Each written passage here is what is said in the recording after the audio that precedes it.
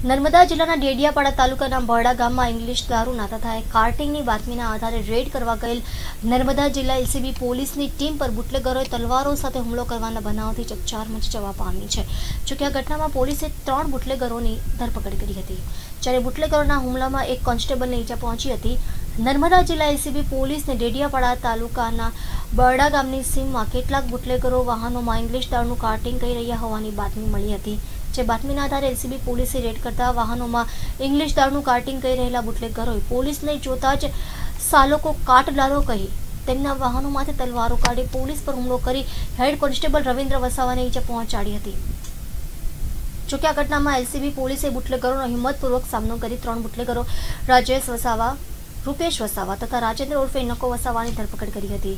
જ્યારે બીજા બુટલેગરો અંધકારનો લાભ લઈ નાસી છૂટ્યા હતા આ અંગે વધુ તપાસ નર્મદા જિલ્લા એલસીબી પોલીસ કરી રહી છે ખૂબ જ સાહસિકપણું બતાવી અને એ લોકોને પકડી પાડેલ. એ દરમિયાન અમારા એક હેડ કોન્સ્ટેબલ નાઓને સામાન્ય હાથના ભાગે ઈજા થયેલ અને કાપો, ઈજામાં કાપો પડી ગયેલો, લોહી પડી, લોહી બહાર આવેલું. પરંતુ અમારા એલસીબીના માણસોએ ખૂબ જ સાહસિક, સાહસપૂર્વક આ ઓપરેશન ખૂબ જ પાર પાડેલું અને તમામે આ તમામ આરોપીઓને પકડી લીધેલા. એ દરમિયાન એક આરોપી અંધારાનો લાભ લઈ અને ભાગી છૂટવામાં નાસી ગયેલો. બરાબર? અને એ દરમિયાન બીજા આરોપીઓને પકડી અમે તમામે તમામ મુદ્દામાલ અમે રિકવર કરેલ છે. ઓગણત્રીસ પેટી જેટલો તો ઇંગ્લિશ દારૂનો પરપ્રાંતીય અમે માલ પકડેલ છે. એક લાખ પંદર હજારનો મુદ્દામાલ છે. ક્રુઝર ગાડી છે.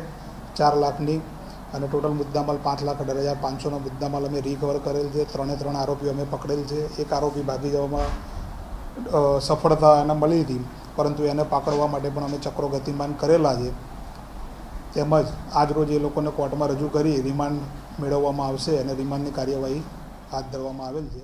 લોકો આ આરો, સદર આરોપીઓ અગાઉ પણ પકડાયેલા છે. આમ, અને તેઓ દમણ અને મહારાષ્ટ્ર, દમણ અને મહારાષ્ટ્રના નવાપુર બાજુથી આ લોકો માલ લાવેલાનું પ્રાથમિક દ્રષ્ટિએ જણાઈ આવેલ છે. જે જિલ્લા વડાએ અમને સ્પષ્ટ સૂચના, કડક વાતે સૂચના આપેલ છે અને એનો કડક અમલમાં આવેલ છે. એલસીબી ટીમ નર્મદાને બાતમી મળી હતી કે અજય વસાવા નામનો ઈસમ ડેડિયાપાડાના ભરાડા ગામની અંદર દારૂનું કટિંગ કરવાનો છે.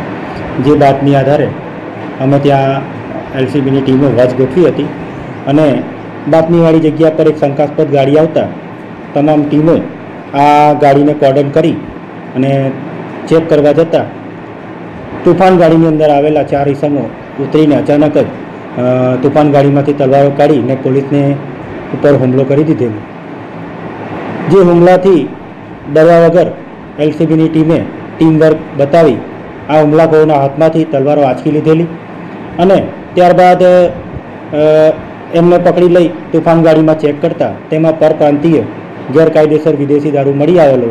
તેથી આ ત્રણેય ઇસમોની અટક કરેલી અને ગેરકાયદેસર મળી આવેલ દારૂ બાબતે કાયદેસરની કાર્યવાહી કરેલી. તેમને અટક કરી, ગુનો દાખલ કરી કોર્ટમાં રજૂ કરેલ. જેના ત્યારબાદ ત્રણ દિવસના રિમાન્ડ મળેલ. હાલ આરોપી રિમાન્ડમાં છે. રિમાન્ડ પૂરા થયેથી તેમને કોર્ટ સમક્ષ રજૂ કરીને આગળની કાર્યવાહી કરવામાં આવશે.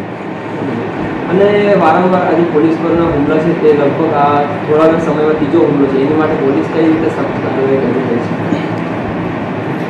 વારંવાર પોલીસના હુમલા થવાનું કારણ પણ એ છે કે હાલ હવે આપણે જોઈએ તો